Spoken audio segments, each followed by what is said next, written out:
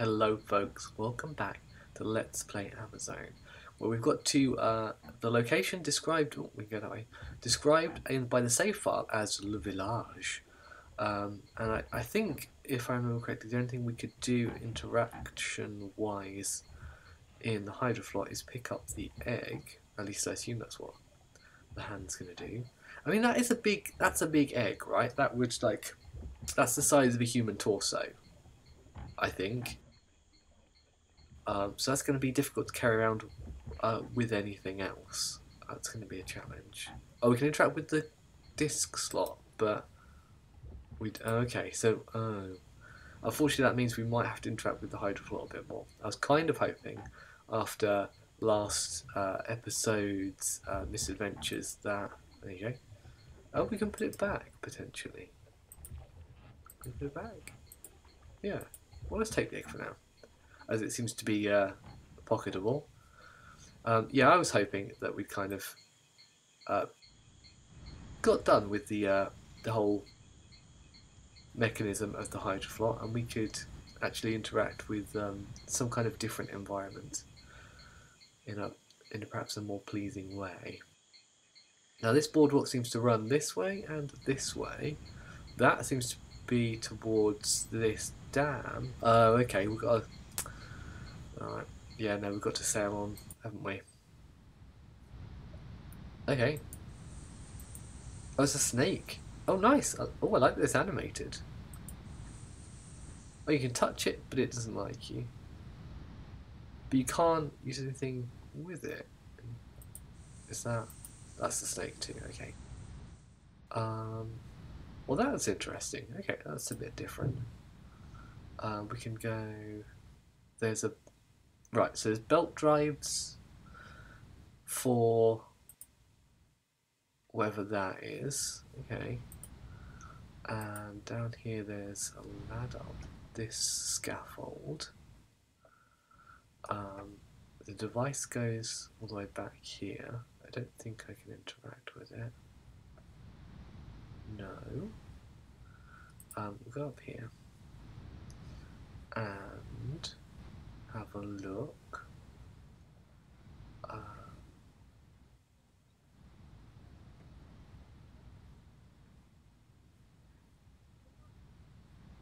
right, I can't seem to climb any further. I mean, I've got so I've got like an aerial view of these wheels here but I don't seem to be able to interact with those.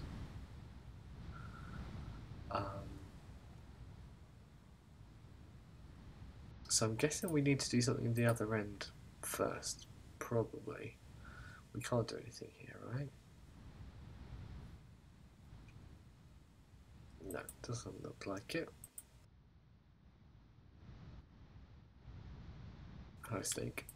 Um, Alright, so what's this way?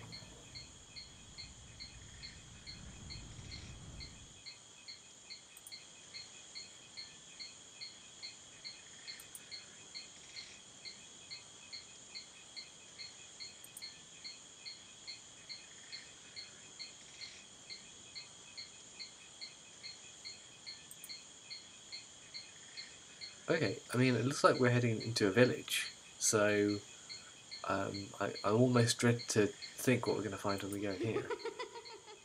oh, laughter of children. That's not creepy.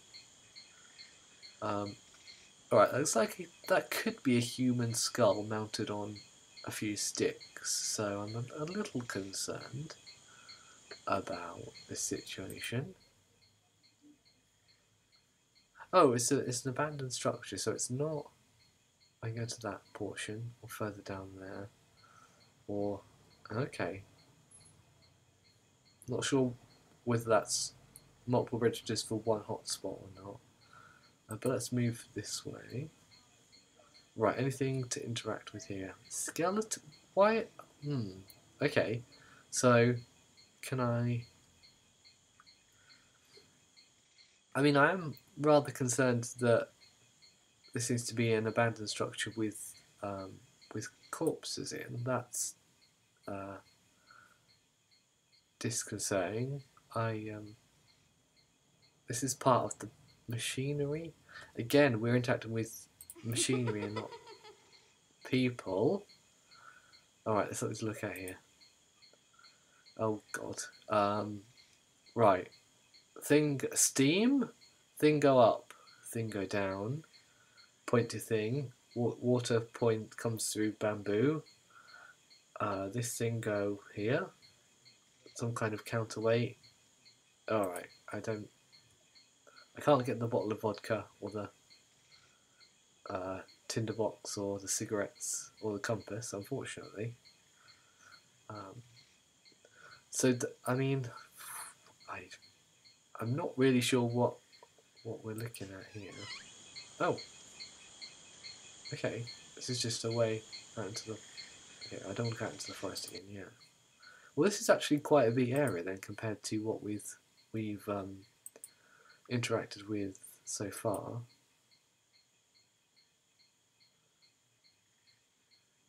Great, that's that slow zoom in there did did nothing for me, I'm afraid. Just slightly comical. Um, all right, there's a trough.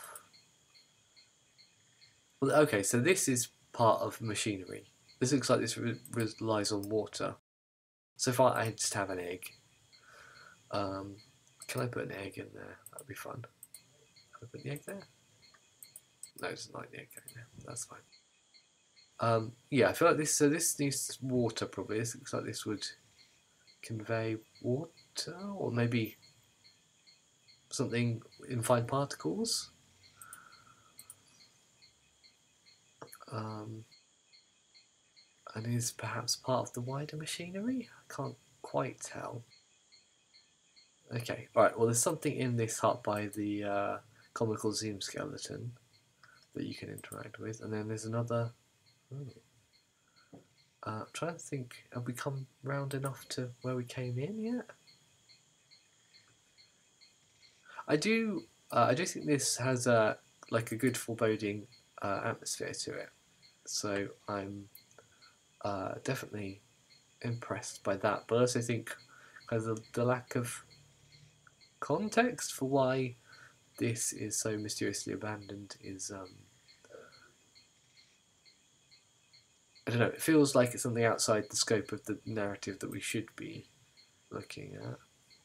Oh, okay. So we just get like a still here of this stone that leads into this bowl. So this is also part of the apparatus. I assume. Oh, we could do something with the hopper. Uh, but not put an egg in it. So yeah, this speaks to me of either a liquid or um, a solid in fine particles that would have kind of a liquid motion to it. Uh, but again, like, not, I haven't picked, been able to find anything else that I can pick up, so I'm not really sure what the game is um, intending for me to do here.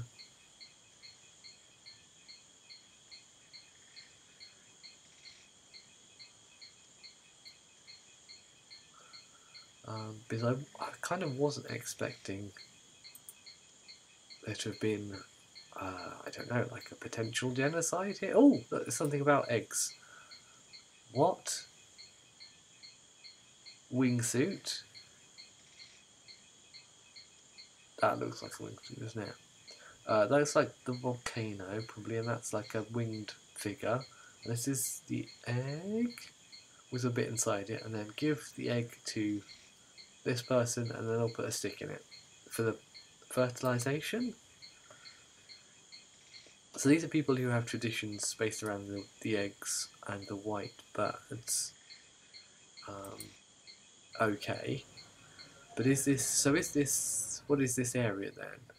Because it seems like there's several threads of puzzle to potentially.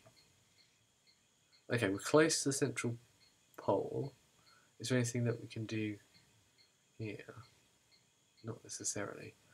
Oh, that. What is that? Oh, that might be some. Is this.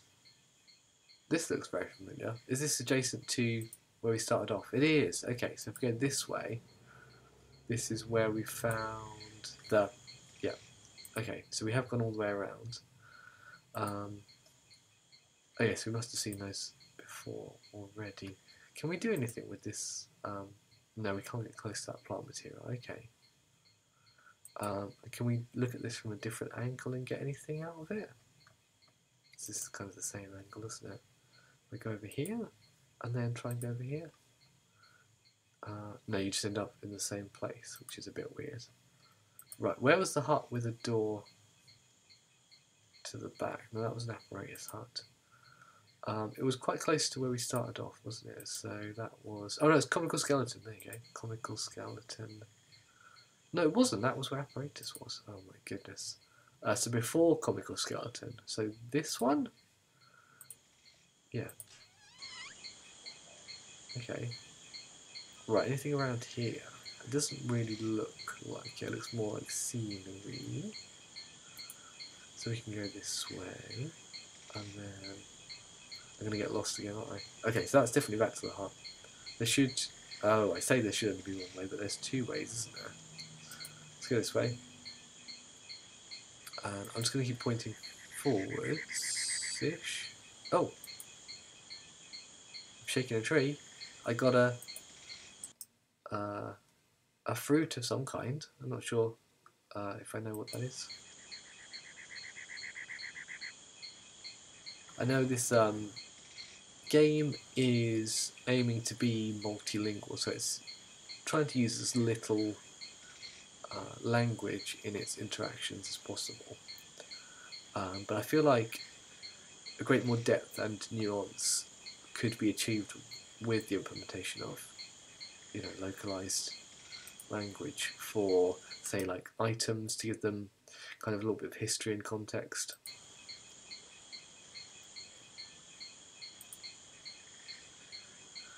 I suppose you get a, bit of that from the um, the letters, but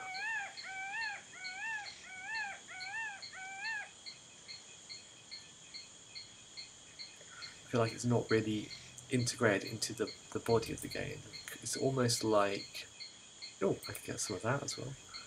Uh, almost like um, kind of a silent movie, a weird playing through a weird silent movie.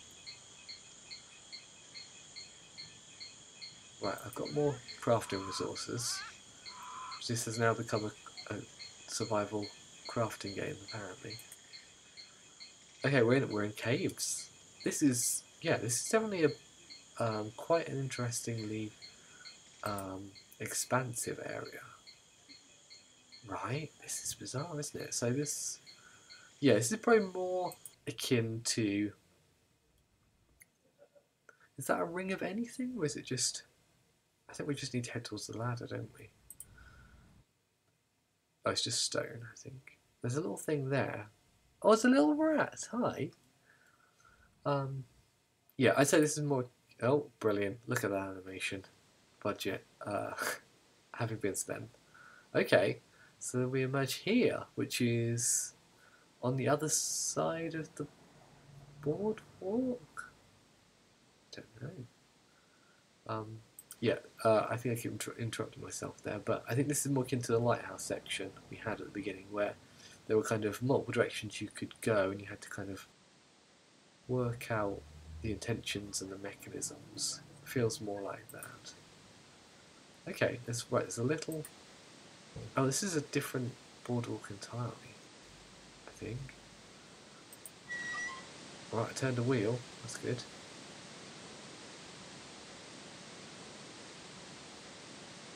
Okay, well that seems to be the end of this path. I can't really do anything else here.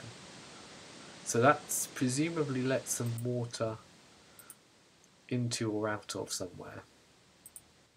And now I need to go back to the village. I, yeah, I guess I'll go to the village. Because it's, uh, it's probably only one way through any of this. We'll go back to the village and we will have a look to see if anything's moving. Does this... Uh... Now that that's the wheel we turned there, I think. Um, but I don't know if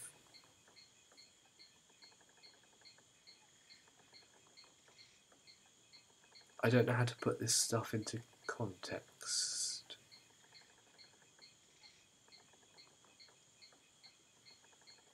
Is that the um, like the weir gate that we're trying to open where the snake is? I guess it could be. Um, and that's oh okay. Oh right. So we've done one thing because this white bird is rotating on the on the dial here now. Oh, unfortunately, I didn't animate the shadow for it. Oh, I suppose they did on the actual pillar itself, but not on the ground. I feel like it should be on the ground. Um, well, let's have a look at uh, Old Laughing Boy's uh, machinery. Oh, it's working. Okay, so it's hydro powered. Um, what does it need? Does it need these fruits? No. Does it need these flowers? Apparently it does. Okay. Fantastic. Um, does that mean there's an end product here? I guess it does. And this is... No, it's not going to tell me what that is, but it's a bowl of something. So then, if we head over to... Oh, I like that. We do get a different angle here. That's nice. Um, the room with the other machinery, which I think might be that one. Is it this one? Yeah. So is this working? Oh, gosh. Yes, it is. And it's uh, quite hammersome. Right, so I think we'll be able to pick something up there, won't we? Uh, once we've hammered it. Uh, but Oh, I guess we probably need to go to the hopper, don't we? And put the fruit in the hopper? That'd be my guess. Yeah. Okay. Oh, we get an animation. Yeah. Smash. Oh, so we get some milk of the... I mean, was it like a young coconut? Is that what a young coconut is? I don't know. We got we got something. So we've got some liquid We've got some herbiage.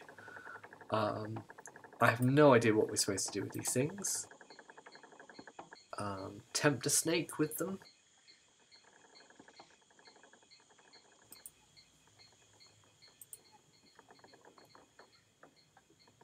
Right, so those I think those were the only two pieces of machinery in this place, as far as I can tell, as far as I remember. That was the information about the white birds. Visual information. Oh, hang on. I just saw a person. Right, there's a person there, right? I'm not hallucinating. Well, let's go talk to this person. Hi. Over.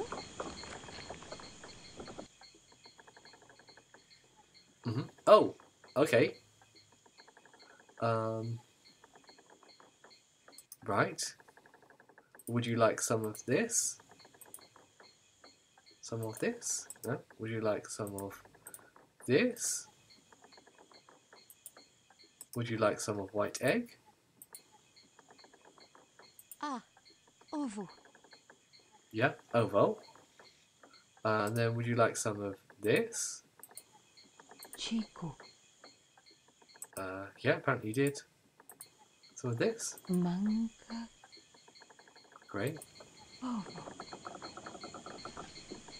Manga loco chico. Okay, I didn't uh, quite follow that, but we need something. Okay, we've we've met a living person who's um, not doesn't immediately die after we interact with them. So that's I'd say that's a net positive. Um, I say head back to the hydroflot and see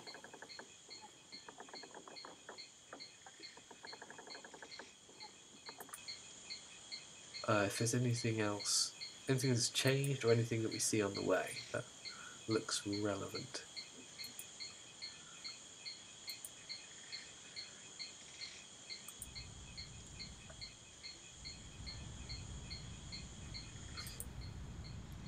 Right, so that's still down.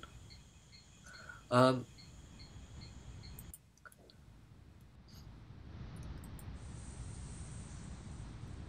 snake's still there. Um, so I don't. Yeah, so whatever powers this is not functioning.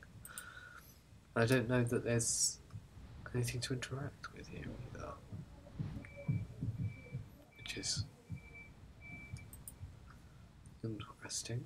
Um, right, so that's kind of the end of that. I suppose what we ought to do is we haven't read to this part in our um, our journal, so let's get to there because that might have a vital piece of information in it.